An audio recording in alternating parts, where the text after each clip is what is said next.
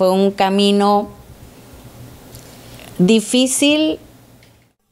En aras de mantenerla informada a usted, amigo televidente, durante este día le presentaremos la historia de Guadalupe Méndez. Eh, difícil porque yo tuve que trabajar y, estudiar.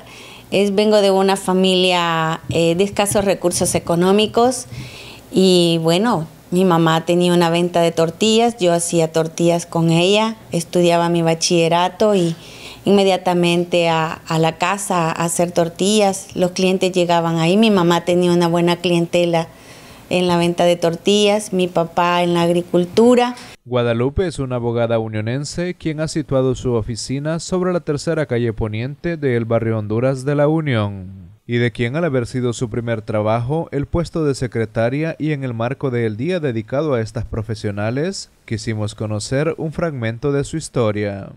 Fue en el 94 yo comencé, mi primer empleo fue en una unidad militar, en la Fuerza Naval, entre como secretaria del departamento de personal. Luego, como a los dos meses, me pasaron al departamento 4, Logística Internacional y luego como al año pasé a, a ser la secretaria de la comandancia. Ya una vez en este andar, su diligencia y deseos de salir adelante le abrieron un sinfín de puertas a su paso.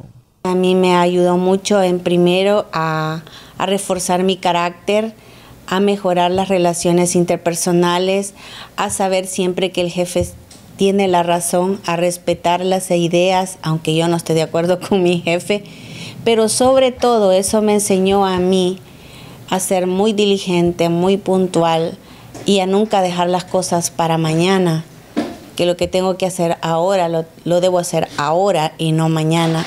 Pero fueron esas mismas experiencias las que forjaron su camino.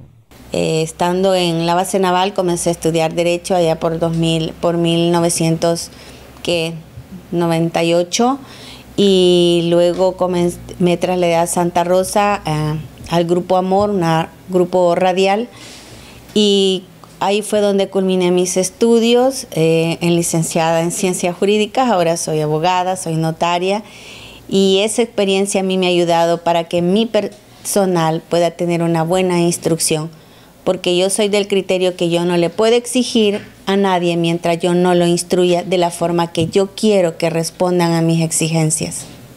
Acorde al pensar de Guadalupe Méndez, este caminar no hubiera sido posible sin el amparo del Todopoderoso en su vida. Y sea este un ejemplo para la juventud en cuanto al hecho de poder saber que de la mano del Creador todo se puede lograr. Informó para Notinueve Samuel Robles.